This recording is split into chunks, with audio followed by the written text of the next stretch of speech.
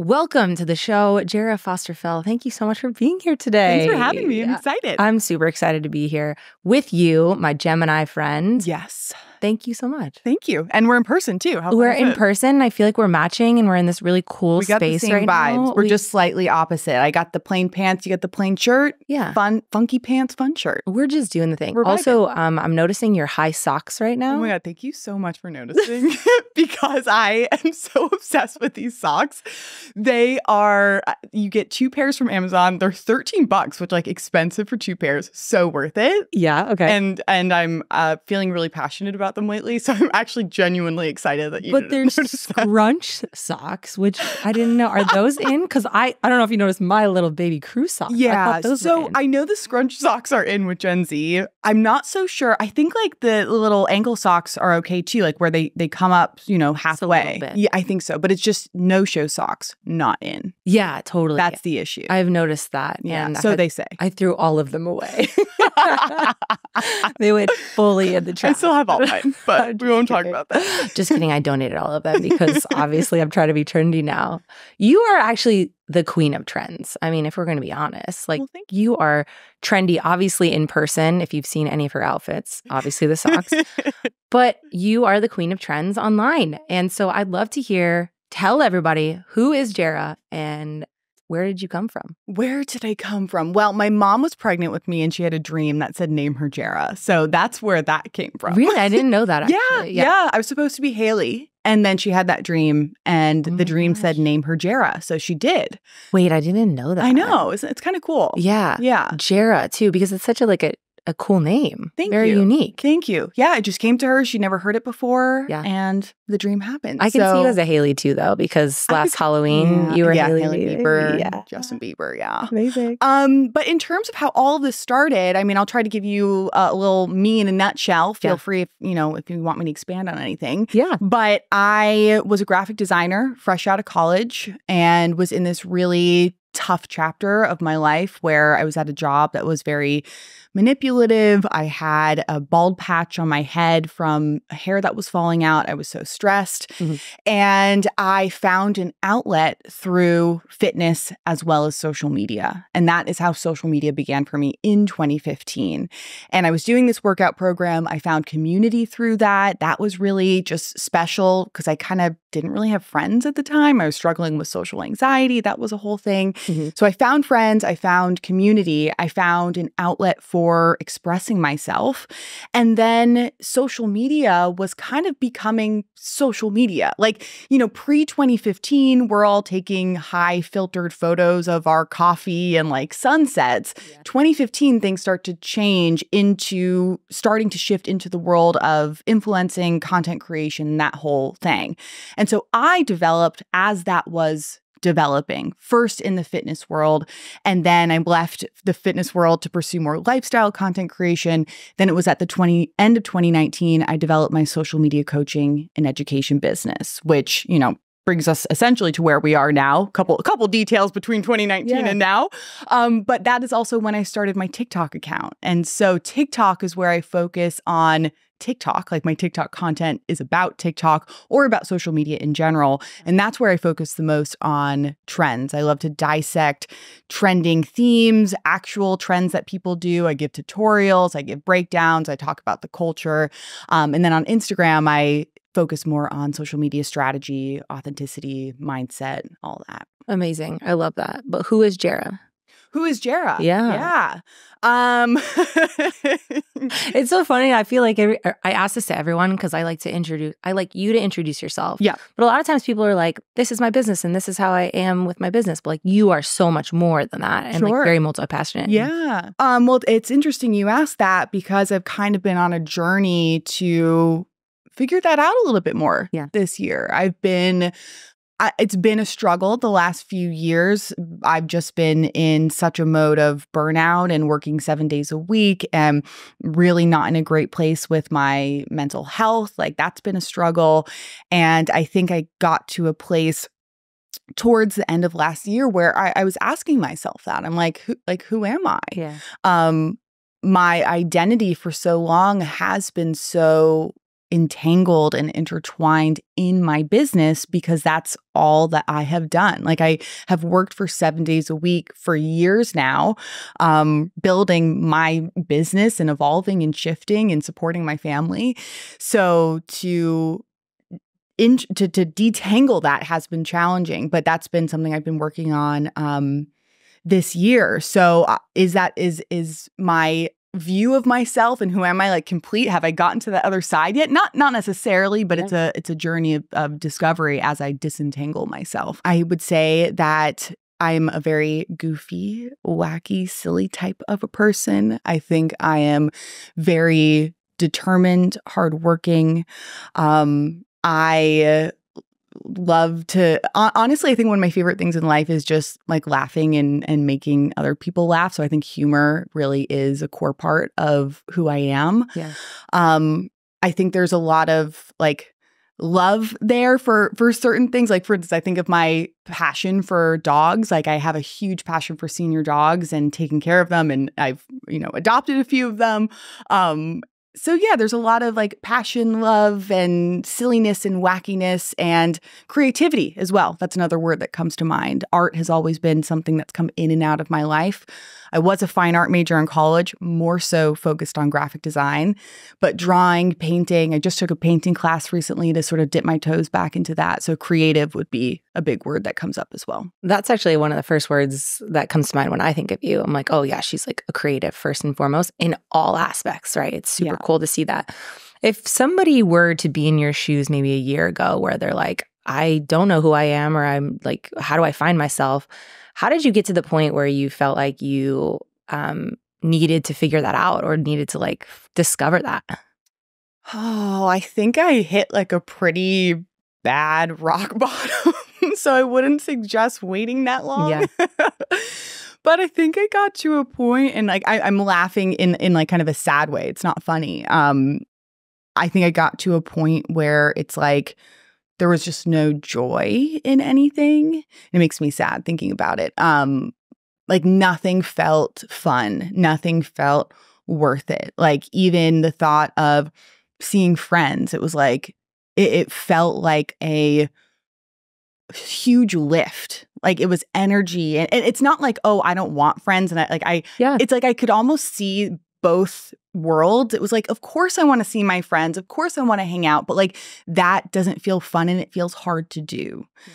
So, like, once you get to that kind of point where nothing really feels fun or joyful, um, I think it was time to figure out how to change that. And I, I also just didn't see my life as sustainable. Yeah. Like, I want to, you know, my husband and I are going to start IVF soon. Like, we want to have a baby. And I'm like, how will I do this when I have a baby? Like, just in terms, not just work, but just yeah. how I felt with life. Right personally, I decided to get help externally. I've worked with two, and I'm still working with one. Um, kind of mindset, life, business. Well, one is mindset and kind of like business coachy, and the other one's more like mindset and like life coaching. And those two people have been really pivotal in in changing a lot for me. So I would say I, I needed that external help to kind of get out of that rock bottomy dark place. How do you find someone that can help you? I'm very fortunate that I had those connections already. Um, one, Nick, I've been connected to like since 2019. I was in a group coaching program, I think you are familiar, uh, where he was the mindset coach. So I've known of him. We've connected before. He came into my group program to coach, and he's also here in Austin. And I actually ran into him for the very first time at your Halloween party. when she was Hailey Bieber. When I was Hailey Full Bieber. circle here. and Nick and I remember Nick and I sat down and had this like, here we are at this Halloween party. Yeah. Everyone's having fun. And like we were at your dining room like counter or something, just like locked into this conversation for an hour that was like really emotional and yeah. intense.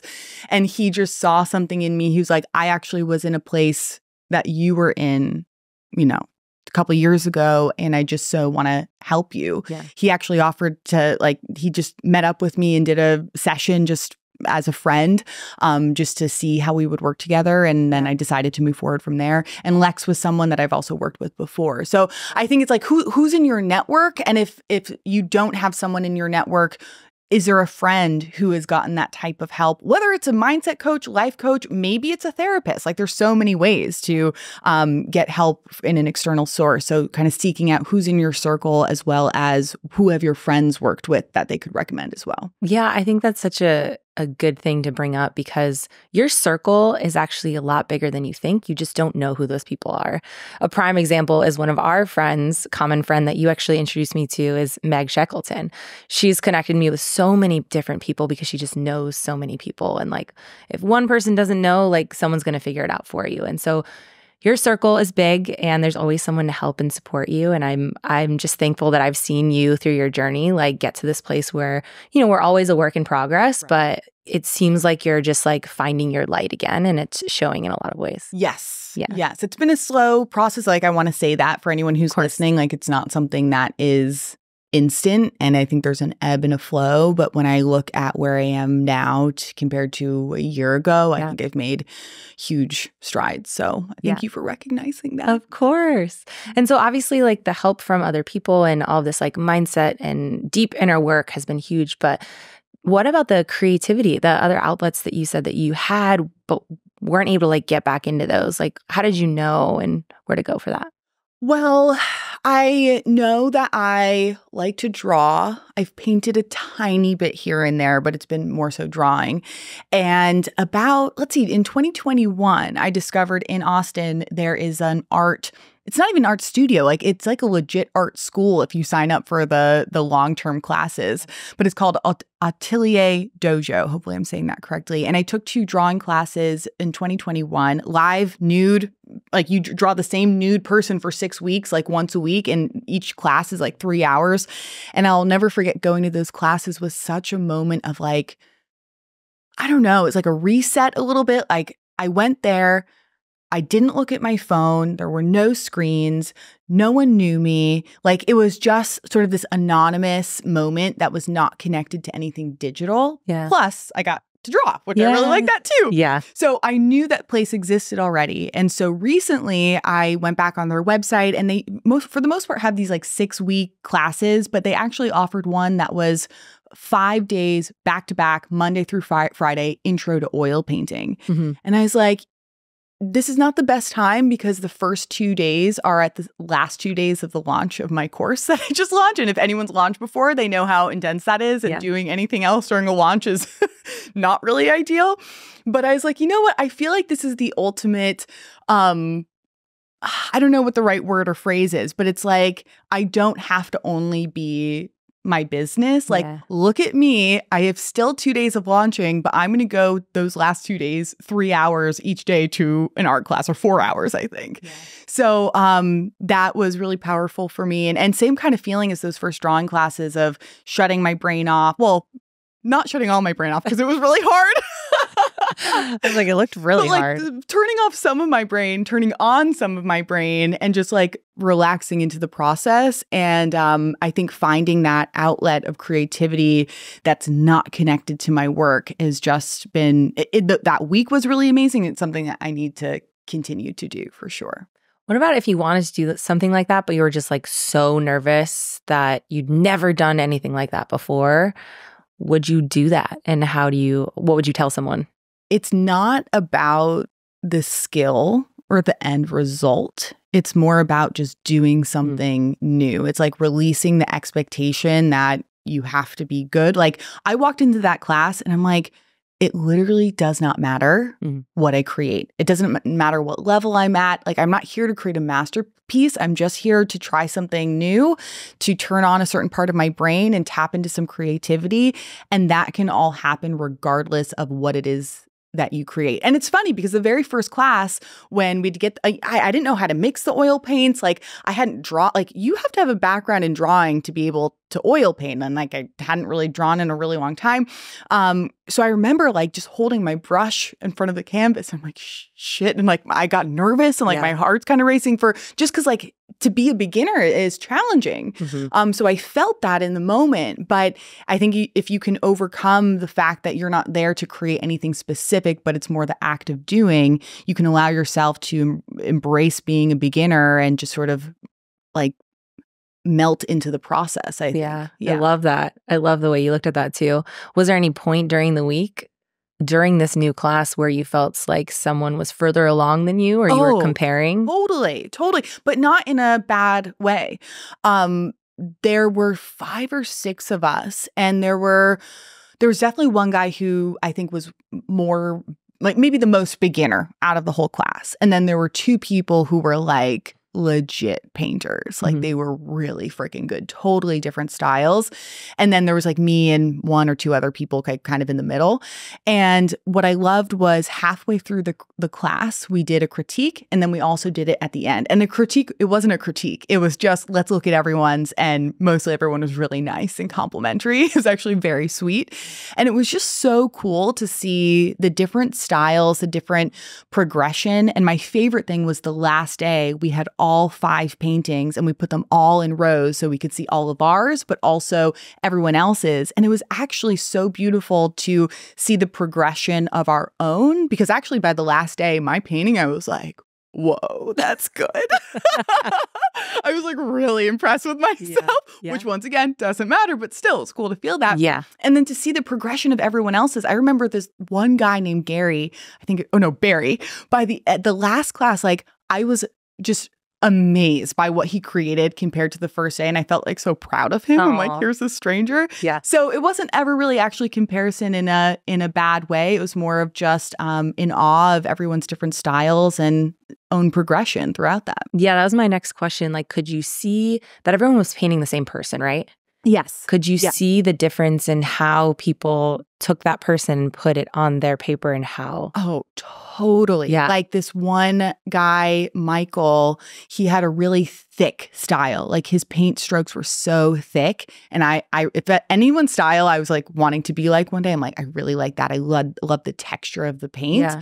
Another gal, not quite as thick, but probably the most realistic out of everyone. Someone else almost had like a more ge- geometric approach. Like it wasn't realistic, yeah. but very like geometric, almost shapes in a way.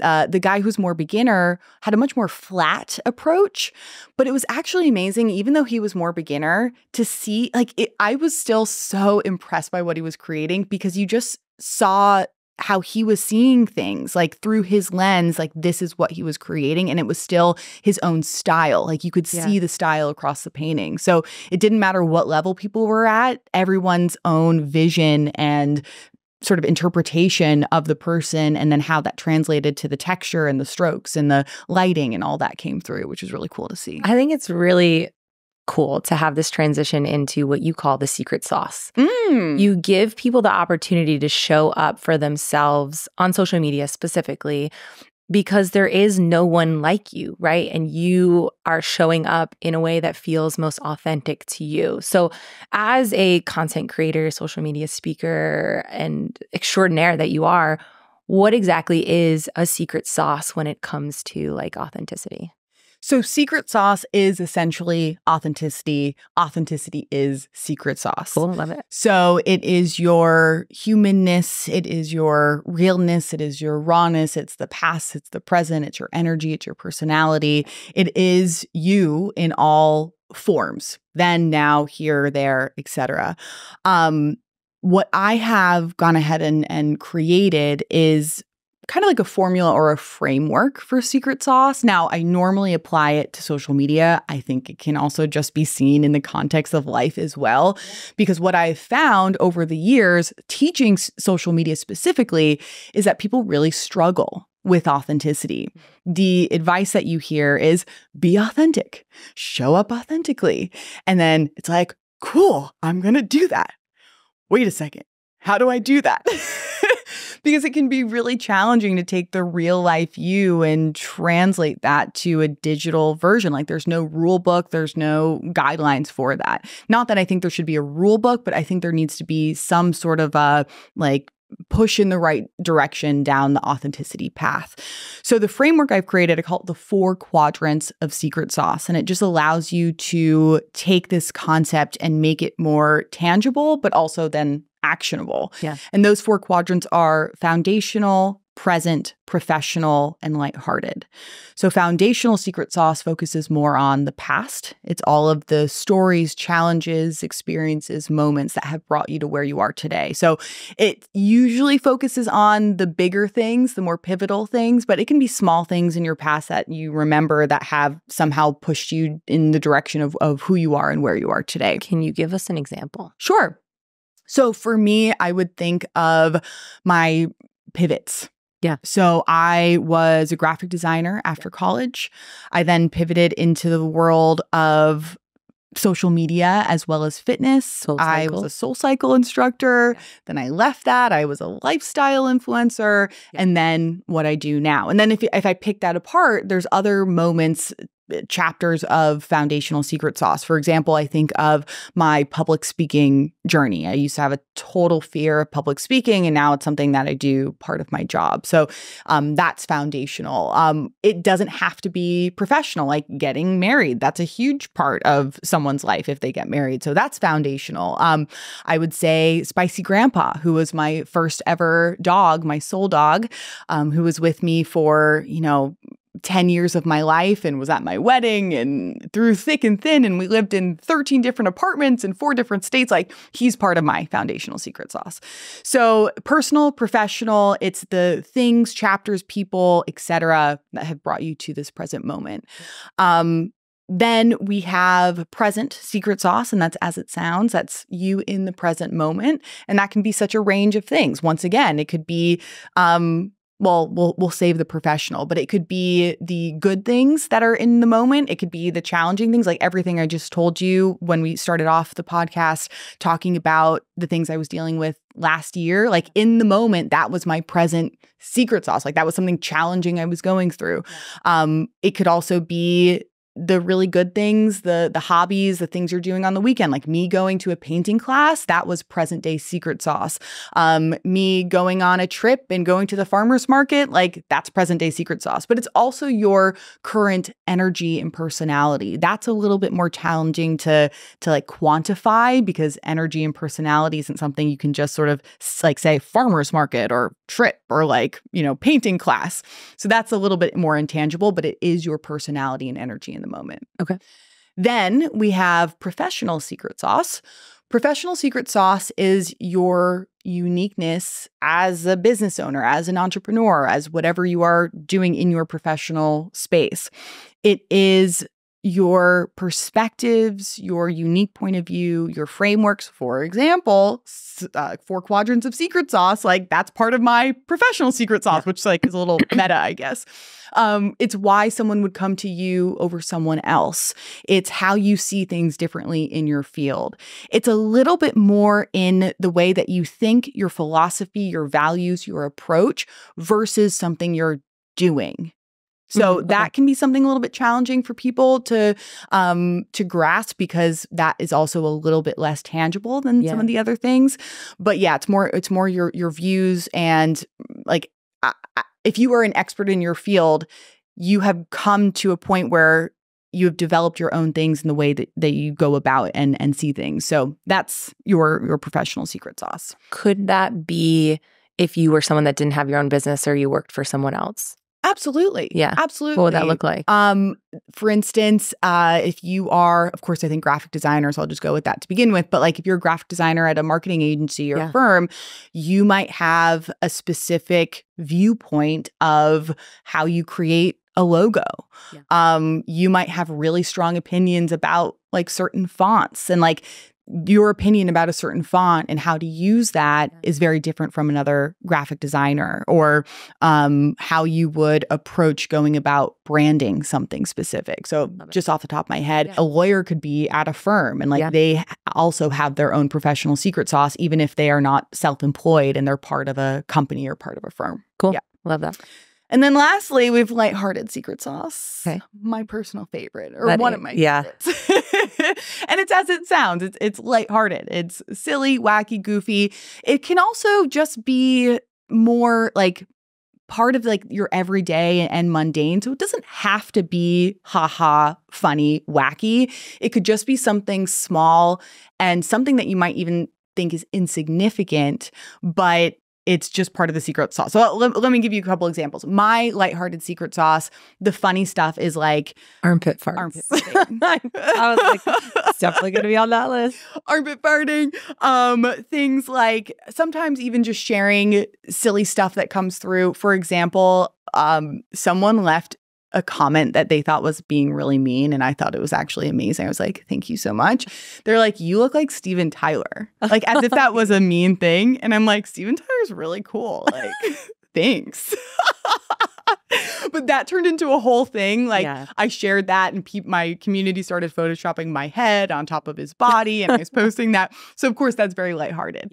Um, but something that might not seem that funny can also be part of it. And the example I'm about to give actually became something funny, but unintentionally. Cheese and crackers. I really love cheese and crackers, but cheese and crackers inherently like in in and of themselves are it's not funny. It's like just a snack. Like it's not that funny. it's fucking hilarious. It's cheese and crackers. I mean, we're laughing right now. cheese and crackers. Depends on the cheese and the crackers. But I just started sharing it on my stories, and like for some reason, people really attached to it, and they're like, "I love cheese and crackers," and they started tagging me in cheese memes and sending me funny cheese sayings like and so that was something I shared where I think the average person would go, This isn't interesting enough to share. Mm. This is mm. random. This has nothing to do with my business. So, what's the point? Yeah. And the point is that I would say some of the strongest connections are built from those things that seem insignificant mm. or seem everyday and routine, because those are the things that other people can see themselves in. Yeah. And the beauty of that in general is connection, but also the beauty of that is it's a connection that then could lead to something later. I'll never forget. Um, I was learning how to shuffle, which that was like a small three month period, but it was great. It, it's a type of dance if anyone is not familiar with that. And there was a gal who signed up for my group coaching program because I shared my shuffling. Right. And she said, seeing you be a beginner at something and sharing that so openly allowed me to feel really comfortable being a beginner in your space, in mm. your world. And so normally, you know, sometimes people are like, oh, all business, like shares, they sell, sell, sell, and click here, whatever. That's all great. We need to sell. I love me some selling. Got to promote.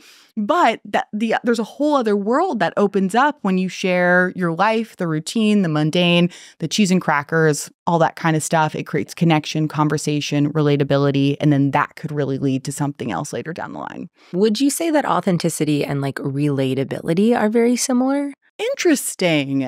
I, have never actually answered that question before, so I'm going to think through it as I as I talk through it. But I mm-hmm. think in order to be relatable, you have to be authentic. I think that's the mm. connection. Okay.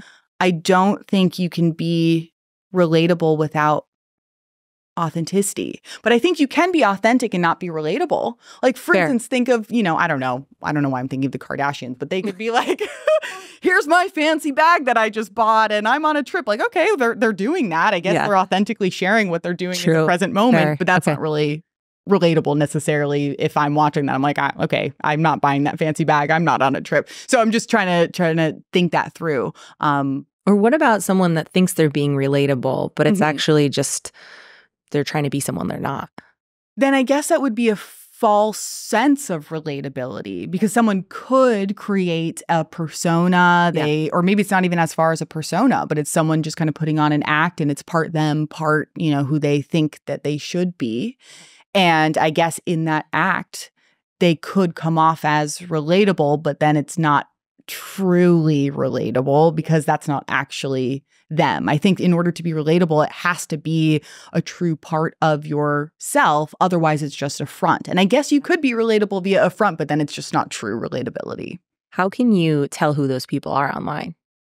You know, I think it comes down to just like a feeling. Okay. And I don't know if that feeling is always correct because there could be people who just put up a front and it seems really real and you feel like you're connected to them you feel like you're relating to them and they're just doing a really good job of that um, so it's it's kind of hard to decipher but i think a lot of us are intuitive and get a gut feeling and we connect to the people who we want to connect to in terms of there's a beneficial relationship there, as in they inspire us or they make us think in a different way or they ignite something in us. And I think most of the time we have like a little bit of a spidey sense in Yeah. terms of what's real, what's not, and what's beneficial for us in terms of that connection. Have you ever like related to someone or like really loved their stuff online and then met them in person and was like, who is this? Ooh. Oh, I, that hasn't happened in a while. I think the most I can think of, it- it's never been that severe. It's maybe been more of they come across more bubbly, kind of vivacious, friendly, and then they feel a little bit more reserved. Mm, okay. So I can think of that, but not to a point where it's felt like totally fake. They're completely different in person. But but to a degree, I, I get that because I think it's for some people, I can see it could be easier to be very energetic to a camera where it's just the camera versus in person. Like I used to struggle with social anxiety. I, I know what can happen in a social setting. So I can also understand that maybe it's not fakeness, Yeah. but it's just a different environment. And we all show up differently in different environments, especially if we're struggling with something socially. Yeah, I think that's a really great like lead into your social anxiety and how now you're on stages in front of hundreds of people. How did you get to that point? Like being able to show up like that in front of that many people. It was a long journey. So it was not something that happened overnight, Yeah. but I see different moments of my foundational secret sauce, now that we know that term, that have contributed to that. So I think it all. I'm going to say it actually started more in my influencer days because there were times where I would have to. Oh, I remember this is a good one. Uh, I was an Adidas ambassador for three years, which was like the most incredible experience. And they asked me and my friend Shanae to go to a Dick's Sporting Goods headquarters and speak to their employees about kind of influencers and working with brands. This is like early days, like 2016. And being thrown into those situations with Adidas, there were workouts that I had to lead and like introduce a big event. Those were terrifying for me. It was like awful. Um, I was shaking. I, I would I would dread it just because I just knew how terrified I would be. But the more I was thrown into those situations, I, I don't want to say I got used to it, but it just gets a tiny bit easier each time. And then I think a huge pivotal part was SoulCycle because at SoulCycle, I had to speak, not that my classes were consistently sold out by any means. Sometimes I was speaking to an almost empty room, but every single day, regardless, I did have to speak in front of a room ranging from, you know, maybe five people were there or maybe 65 people were there.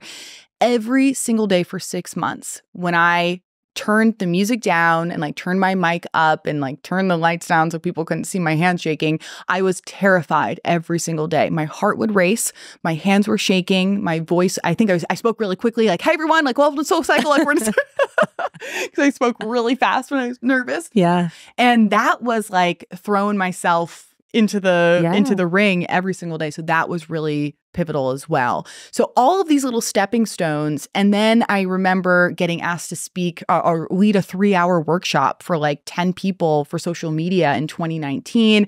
So all of these things just contributed to, uh, to the point where um, I am today. And it, it's been those stepping stones, whether it's been in person, whether it's been like even just the virtual stages, like speaking to my group coaching programs um, on a Zoom call, like that was terrifying for Yeah. me at the time. So all of these are um, moments where I've been able to develop my skills work on my nervousness and and just grow every single time whether it's in person virtual um, big or small You know, it's so interesting because, like, so many of these things that you're talking about can be related to so many aspects, especially in fitness and wellness, right? We're not just going to go into the gym and lift 300 pounds. We're going to go slowly to get there, right? Right. But the social anxiety aspect, I feel like, is is huge right now, especially after COVID, right? Where we've been inside of our homes a lot of the time. It's easier. We can do everything from home. We Yeah. work from home. We're home a lot. So after, you know, the world opened back up for COVID, did you feel like you kind of went backwards a little bit with that or how did that feel?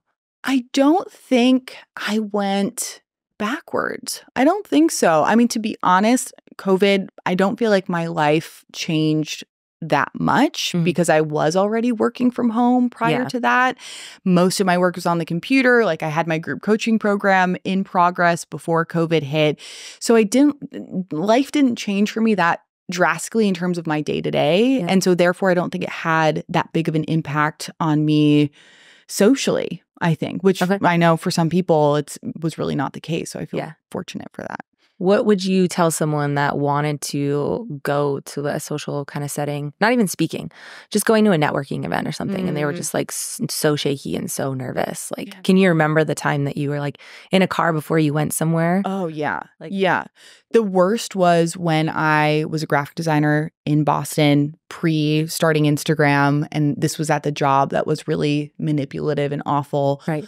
I was working once again another 7 days a week of work for once you added up all my hours I was like making like way less than minimum wage. And the thing that I hated about it amongst other things was the social component Okay. because there were so many it was like this little startup and there were so many events that they were throwing to try and promote the brand so i'd have to stay late and like mingle with these people that i didn't know Yeah. and it kind of felt like uh it just kept getting worse every time because what would happen was i would speak to someone and i'd get really really hot and I would start to sweat. And like I was talking to someone, I'm like, oh my God, I'm starting to sweat. They're noticing that I'm sweating. This is so embarrassing. Let me awkwardly say, oh, gotta run to the bathroom. Like, Yeah. oh, what did I just like get the shits like mid conversation or something? Too many cheese and cracker. Cheese and crackers. Um, and run to the bathroom and like put water on my wrist to try and cool down. And then like I'd cool down a little bit and I'd go back and it Yeah. would happen again. It was Yeah. just awful.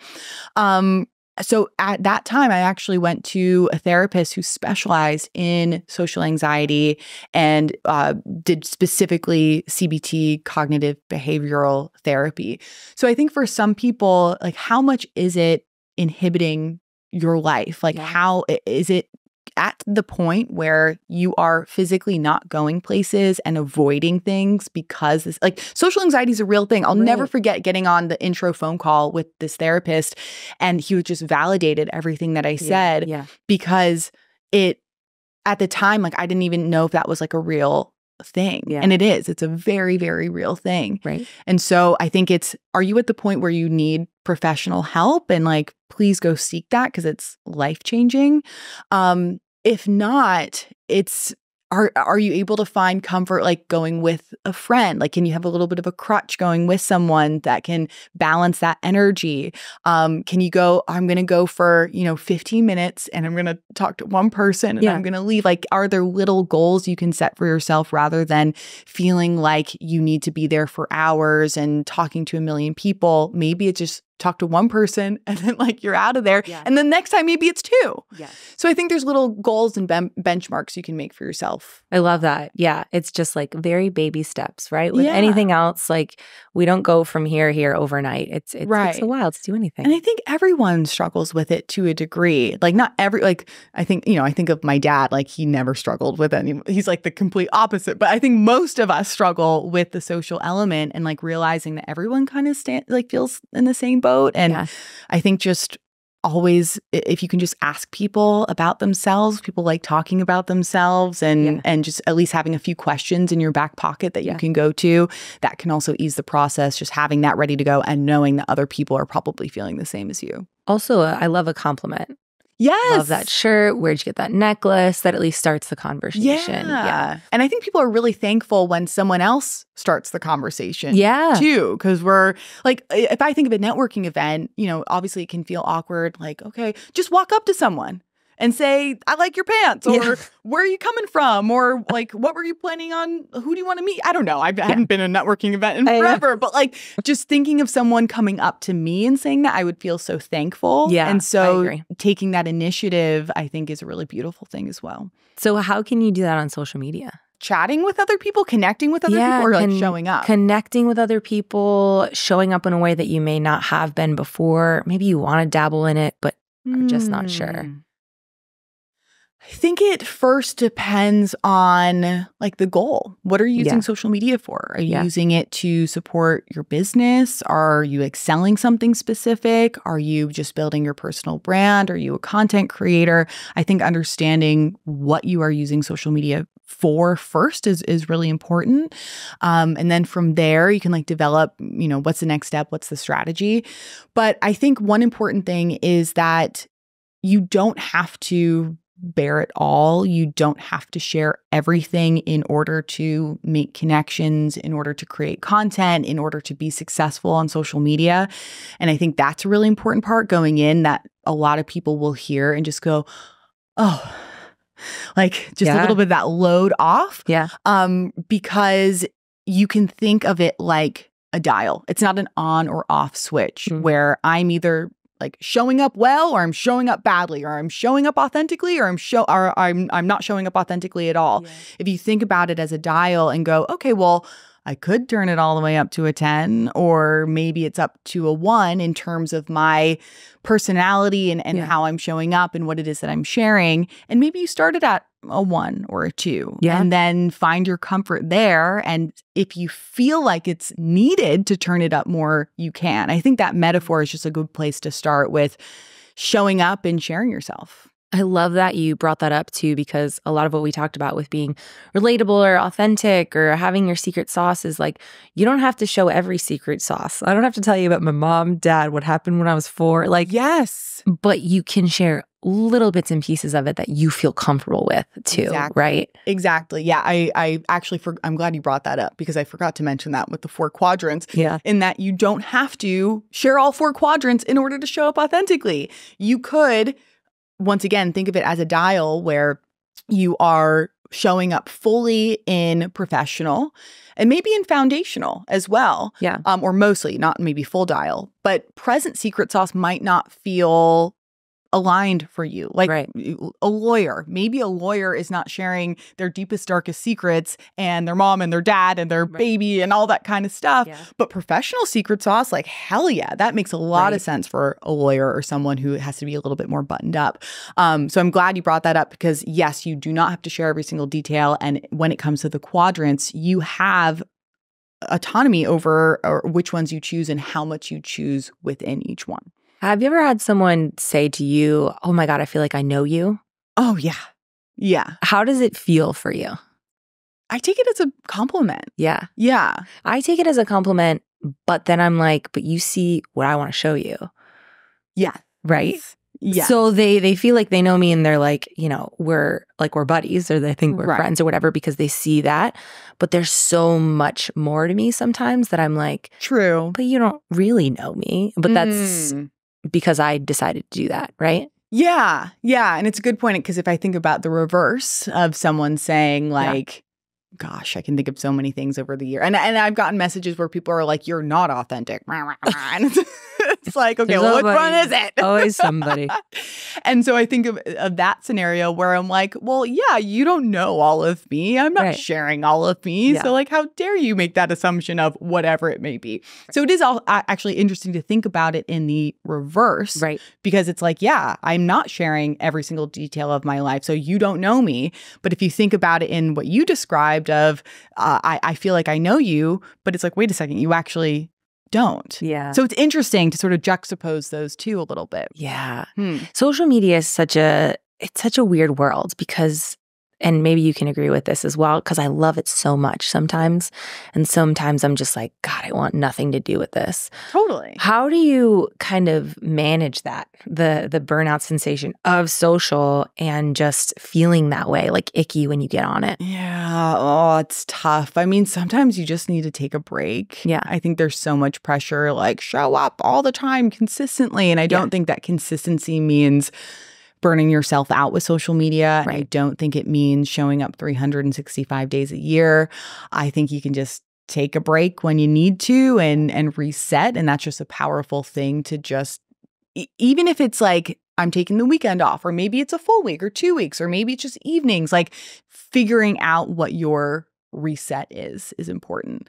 I also think over the years I have changed the way in which I have shared myself. I think mm-hmm. influencer, content creator, so we're talking 2015 to like 2019, that was like the full on influencer Jera years.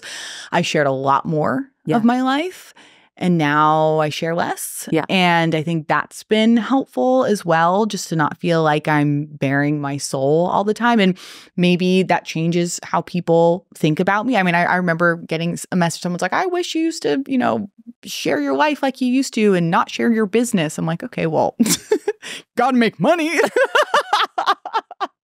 the cheesy but, crackers aren't gonna buy themselves, you know? but that was like a shift from content creator, influencer Jera into social media coach, educator uh, Jera, who I am today. And I think with that shift as well, like the shift of my role of what I do, that has also lent itself to wanting to share less of my personal life. And I yeah. think, um, you know, I still share a lot. There's still, you know, personal things that I will open up about. Um, it's just less consistent as it used to be. And I think that helps that overall feeling yeah. of overwhelm with social media as well to create boundaries and have certain things that are private or take some time off, whatever it may be. What if you're someone that doesn't really post on social media? And I like to call like Teddy or Aaron the lurkers. Well, Aaron doesn't really lurk. Teddy is he someone. Little, I think he does a little yeah, bit. Yeah. Teddy is someone that will watch everybody's stories and won't post for five years. Yeah what do you tell someone like that that like knows they need to like take a break from it or get away from it because it's like mental health, but they like just can't or oh, it's hard they to need, do. They're lurking and they need a break. Yeah. they need a break from the comparison or like the break. constant, yeah. you know?